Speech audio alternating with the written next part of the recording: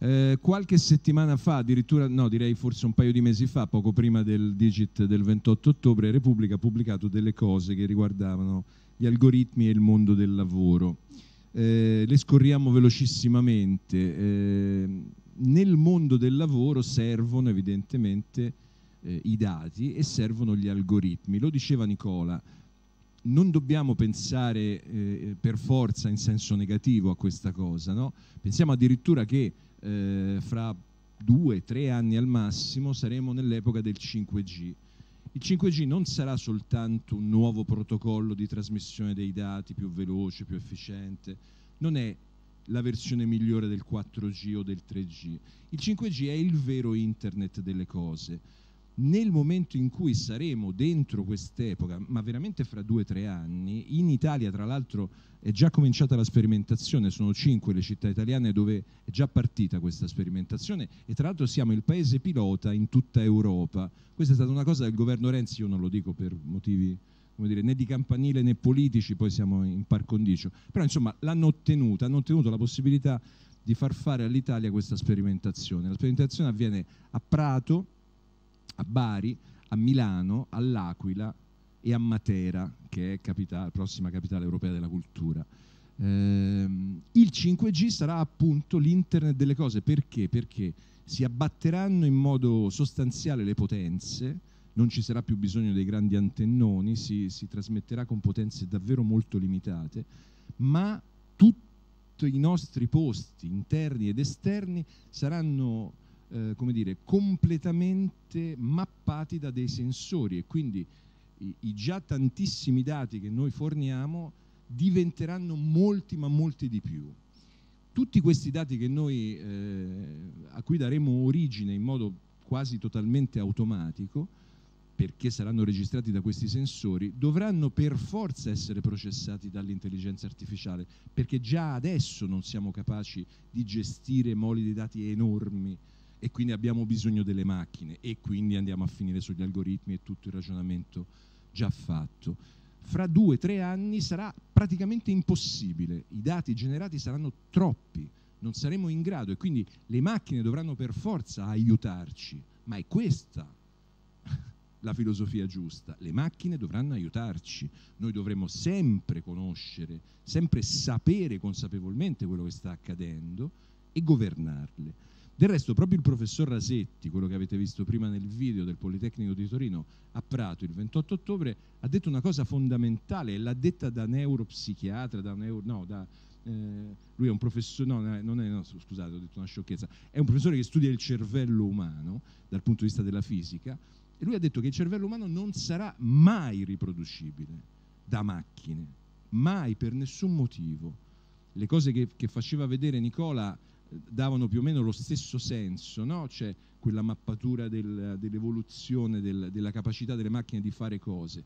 Certo, bisogna arrivare al 2050 per, no? per definire la cosa più, più, alta che possa fare una macchina, ma non ha niente a che vedere con le enormi capacità che da sempre il cervello umano può, no? può mettere insieme. Quindi di questo non dobbiamo aver paura, delle, delle, mh, dire, delle profezie della fantascienza dei nostri, no? di, di, AL 9000 non dobbiamo preoccuparci. Mi riferisco chiaramente a 2001 Odissea nello spazio e al computer che prendeva il controllo dell'astronave e uccideva tutti i componenti della spedizione. Di questo no, però dobbiamo saperlo, dobbiamo agire consapevolmente, questo sì.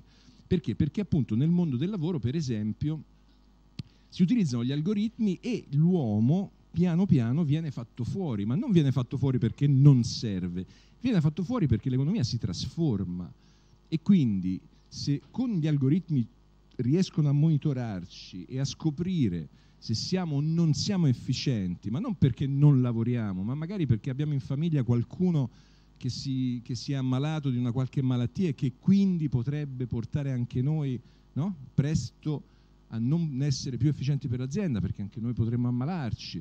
Cioè, capito, fare questo tipo di previsioni partendo appunto da sempre e comunque dalla analisi e dalla gestione dei dati. Identificare, selezionare, valutare i candidati all'assunzione e più in generale tutti i lavoratori mediante un algoritmo. Dice sì, è vero, l'algoritmo l'ha preparato un uomo o una somma di uomini, ma questi uomini sanno di che cosa stiamo parlando o stanno semplicemente facendo qualcosa che migliori l'efficienza aziendale? Gli algoritmi si occupano del bene comune, sono in grado di tutelare il bene comune? No. Michele ce lo dirà molto chiaramente fra qualche minuto.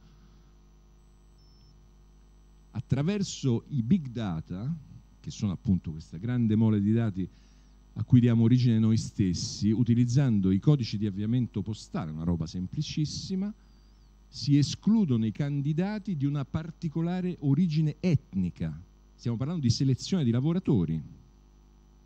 Una sciocchezza. Questo è un algoritmo, no? una serie di informazioni che portano alla determinazione di un processo. Sempre utilizzando i big data invece si usano le regole dei giochi. Questa è una teoria che un nostro amico che avete visto anche nel filmato di prima, che si chiama Pierluca Santoro, eh, da molti anni sta cercando di introdurre nel mondo dell'informazione del giornalismo la teoria dei giochi applicata al mondo dell'editoria. Non ve la sto a raccontare anche perché non mi permetterei mai, non sono così. Però, insomma, applicando queste regole mutuate dai videogiochi si incrementano, ma queste sono cose che vengono già fatte, non è fantascienza, si incrementano le performance personali e dell'impresa. Perché?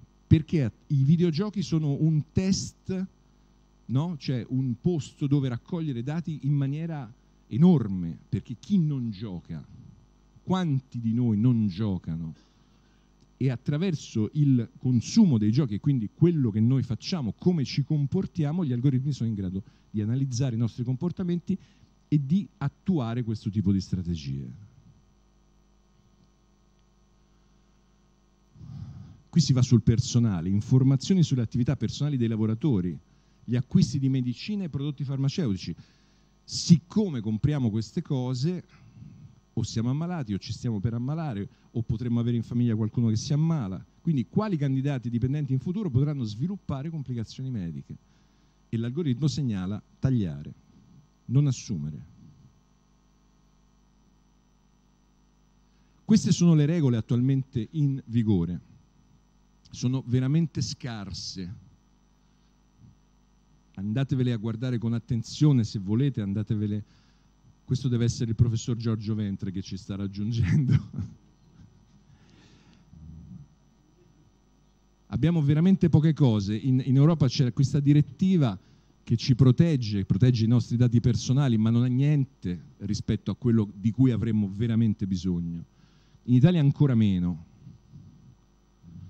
e tra l'altro alcune delle regole dello Statuto dei lavoratori, per esempio, voi sapete, sono state recentemente messe in discussione, se non addirittura mutate. Quindi, senza voler fare le vittime né fare catastrofismo, eh, io vi volevo anche dire che le macchine, nell'ultimo rapporto McKinsey, ci dicono che eh, non, non, non, hanno tagliato davvero posti di lavoro, cioè la previsione è questa, no? fra i 400 e gli 800 milioni di persone da qui al 2030 dovranno cercarsi un lavoro. Però nel contempo eh, tutto quello che è stato l'apporto dell'automazione nel mondo del lavoro negli ultimi vent'anni non ha provocato questa diaspora, casomai a voler guardare i dati eh, dopo un iniziale no, allontanamento perché alcuni meccanismi, pensiamo per esempio alle banche e all'automazione degli sportelli, no, i semplici bancomat.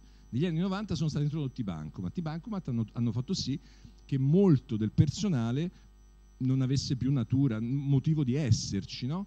Però poi si sono accorti, parlo dell'America, l'Italia forse si è comportata in modo diverso, però poi si sono accorti che con minor numero di dipendenti potevano aprire altre filiali e quindi aumentare la propria presenza no? sul territorio. E allora all'inizio avevano ridotto il personale, poi i dati ci dimostrano che invece negli ultimi anni sono stati riassunti e addirittura il personale nel mondo bancario in America è aumentato perché sono state aperte tante nuove filiali che invece di lavorare con 20 persone di media lavorano con 12 persone di media però prima c'erano 100 filiali, adesso ce ne sono 180.